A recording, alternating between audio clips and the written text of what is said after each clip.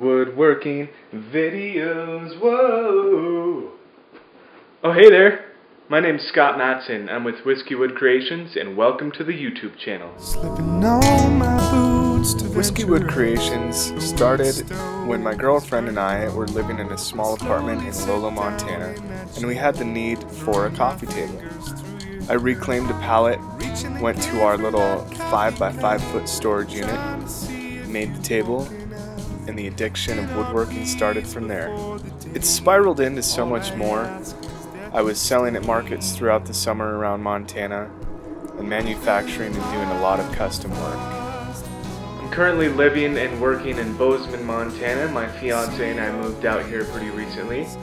I'm working for a YouTuber actually, and uh, I have some background in traditional woodworking. I had an apprenticeship that I went through in Missoula, and I worked at a couple of cabinet shops, and then of course Whiskeywood Creations, manufacturing my own products to sell online and at markets.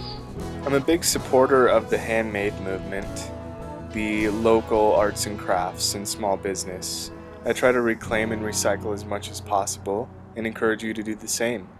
Thanks for checking out the channel and I'm looking forward to sharing some videos with you.